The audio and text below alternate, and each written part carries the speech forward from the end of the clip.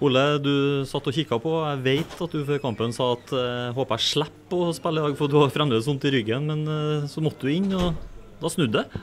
Altså, jeg vil alltid spille, men eh, jeg tror kanskje det, eller det var smartest å ikke starte, i hvert fall. Og kanskje ikke spille, eller spille så lite som mulig. Men uh, spilte en omgang, og det gikk greit, det.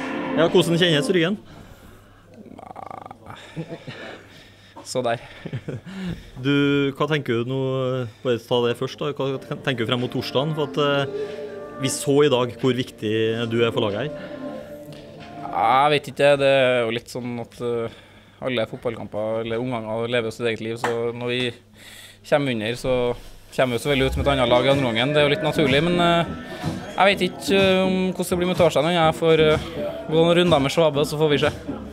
Vi går opp til 2-1. Pål skårer et fantastisk mål, så får vi en smell i trynet. og Så, så virker det som vi detter litt allikevel, men dere jeg regner med at dere gir vel aldri opp trua på at dette skulle gå likevel? Nei, nei, det gjør ikke vi. Vi, vi skaper mye muligheter i omgangen, gangen, syns jeg. Og kunne ha skåra flere mål. Og så gir vi bort et jævla unødvendig mål på, på innkast der. Men det er så deilig når vi får det tredje der, så det bryr meg ingenting nå at de skåra til 2-2. Gratulerer.